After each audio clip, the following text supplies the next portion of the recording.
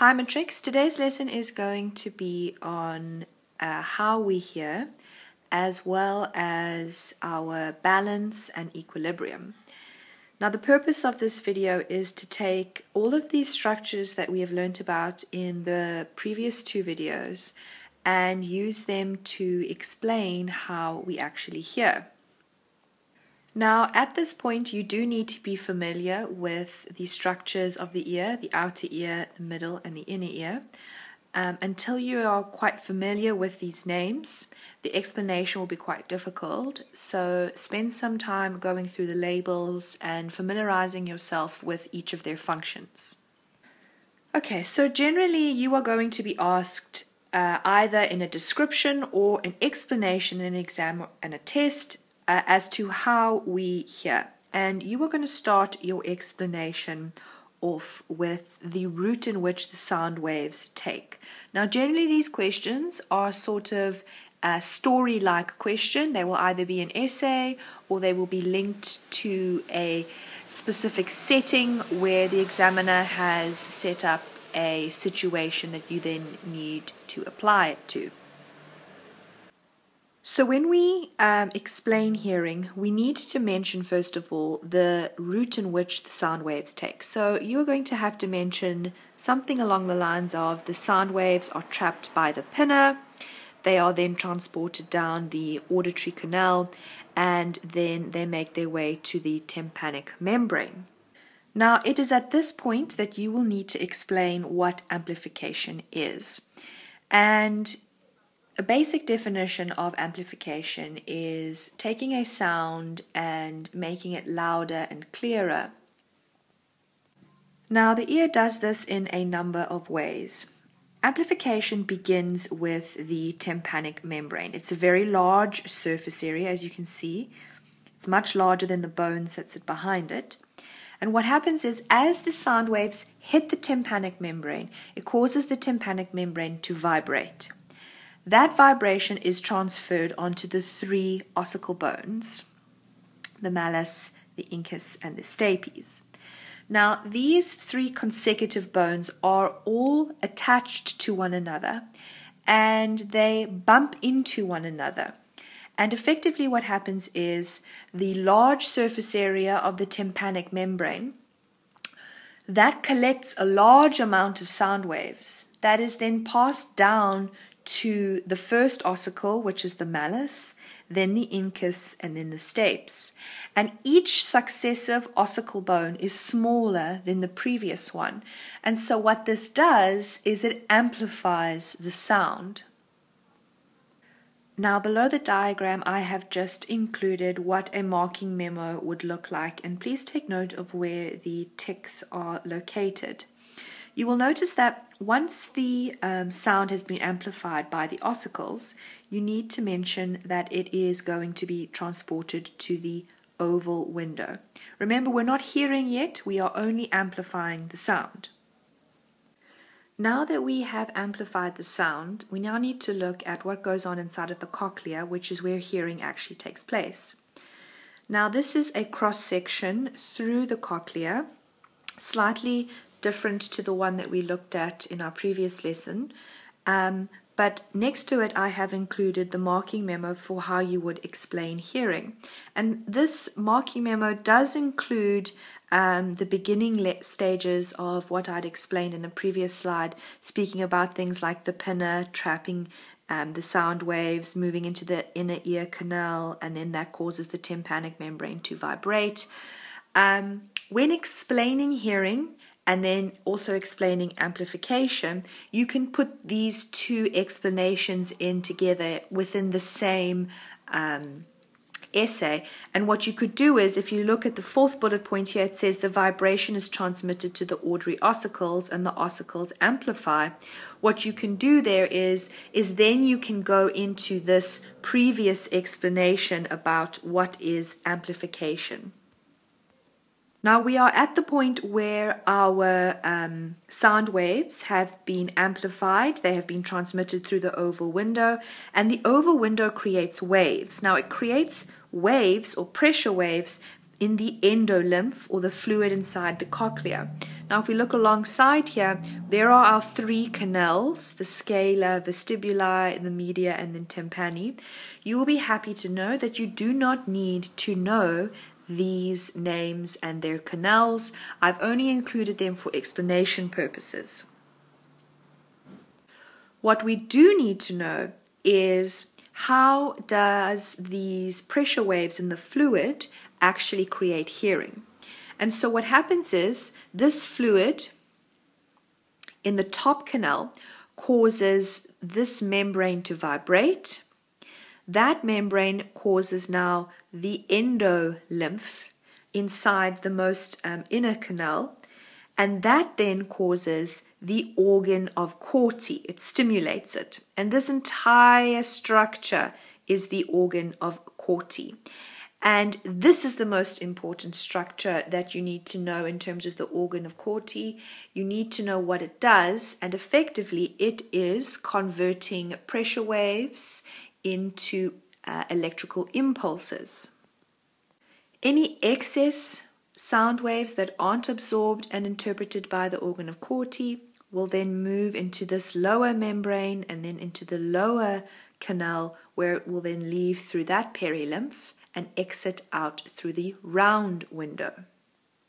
So if we just take a closer look at what the organ of Corti looks like, continuing on with what our expected explanation should look like, we mentioned that these vibrations stimulate the organ of Corti, and the organ of Corti is, I will remind you, a set of sensitive hair cells that are attached to a nerve, and sitting above them is a tectorial membrane. And this membrane moves backwards and forwards and it stimulates the very top tips of the hair cells, and that's how you generate the electrical impulse. We then mention, and you must mention, that that impulse is then sent along to the auditory nerve and finally to the cerebrum.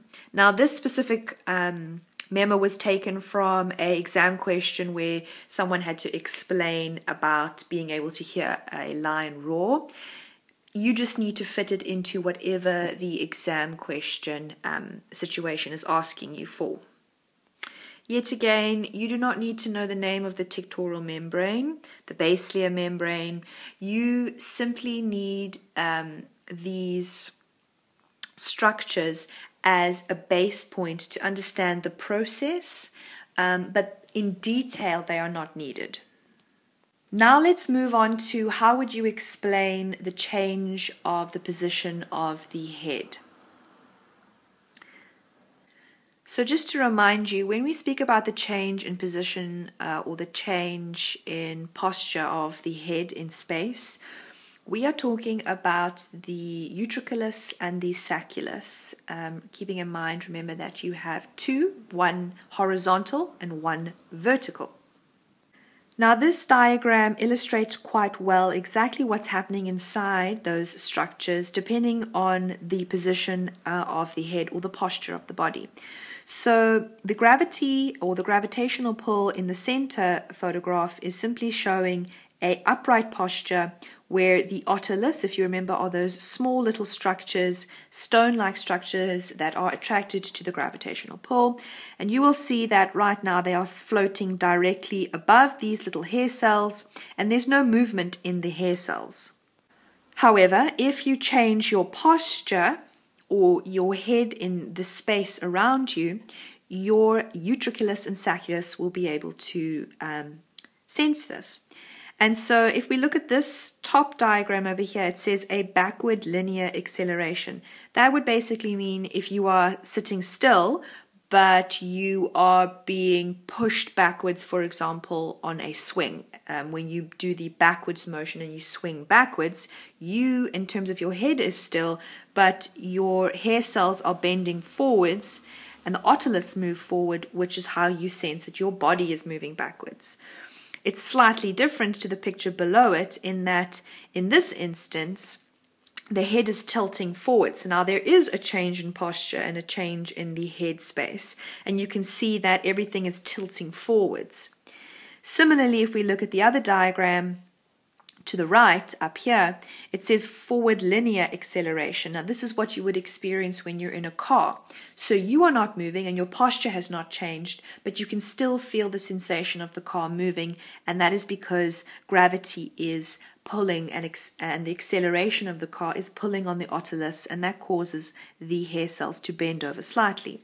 This is also slightly different to when you tilt your head back. Remember, if you're in a car, you're sitting upright and you're not necessarily moving your head. But the second picture below that is when you tilt your head backwards, and this is when the otoliths and the utriculus or sacculus tilts backwards, and now the head knows it's in a different position.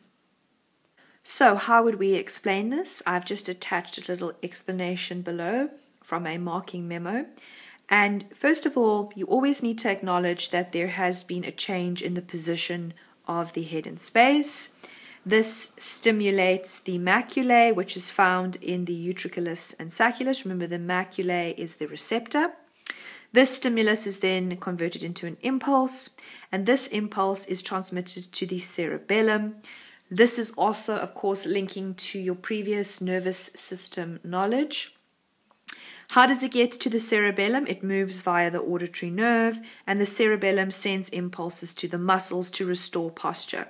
This final point is really important because often this question is a case study, it's an application question. And remember, whenever we do these kind of specific questions where it's asking, what did the uh, brain do to correct the action, or how did you stop yourself from falling?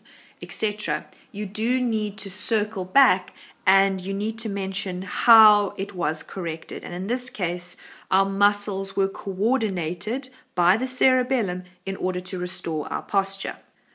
And now, finally, we are going to look at how do you explain a change in speed and direction. And this now links to the semicircular canals, keeping in mind that you have three of them and remember, they're in um, right angles to one another so that um, you are able to sense a change in direction in all three dimensions. And keeping in mind that they have um, their own sensory receptor, which is found in a swollen region called the ampulla. And the receptor is called the crista.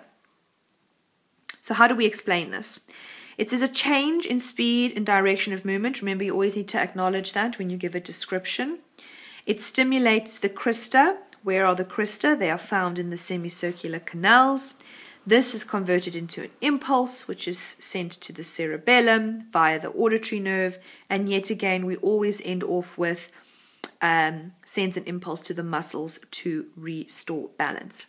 This is slightly different because we are restoring balance, whereas our previous was restoring posture. Now, you do need to provide both of these explanations um, in detail for questions like essays that perhaps ask someone to explain how a ballerina maintains their posture and balance while spinning on point. Um, you would then need to use both of these explanations to describe how they maintain their balance but also their upright posture. In terms of knowing all of these structures, the most important structures that you need to be familiar with um, in terms of our semicircular canals is the names of them, which is the semicircular canal, and the receptor called the crista. You don't need to know all of these other structures, such as the stereocilia, the support cells, hair cells. I have included them in my explanations for order for you to have a greater and clearer um, picture of what you need to know, but it's not necessary um, for you to um, spend a large amount of time learning them off by heart. If you do mention any of these structures in your explanations, then you'll never be penalized for that. And what we are trying to do is we are trying to teach you a little bit more than what you need to know so that when you do answer these questions, you give a little bit more detail and a little bit more specific structural knowledge so that when you do answer these questions, you answer them sufficiently without leaving out any smaller details. Now, this topic is quite complex, and you may need to query some of this with your teachers. Please do so, um, as often this particular topic um, requires a lot of revision and it's very technical.